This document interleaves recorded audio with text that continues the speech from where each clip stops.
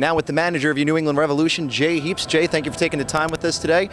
We are in 2015 and already excitement abuzz with Teal Bunbury, your explosive winger, coming back for another year. How excited does that make you feel uh, to know that your attack is already almost back?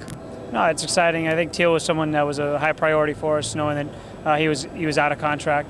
So you know, locking him up um, is, was really important for us and, and part of our, our, going into 2015. So we're excited about having him back. There was a lot of moving pieces to your midfield last year. Can we expect a lot of that same changing dynamic during the regular season?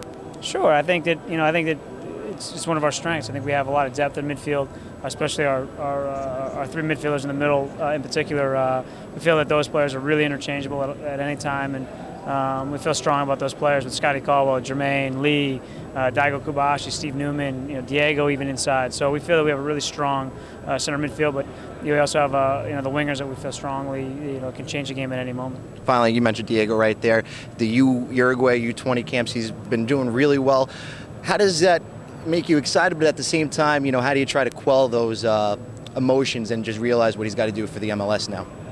No, I think there's no quelling any emotions. I want him to do as well as he can, and um, I'm glad he's there. I think it's, it's a good opportunity for him. I think it's great that he's that he's working hard. I mean, he's a young kid, so he needs he needs games, he needs uh, uh, challenges, and I think this is an excellent challenge for him. I think this will only make him stronger going into the season.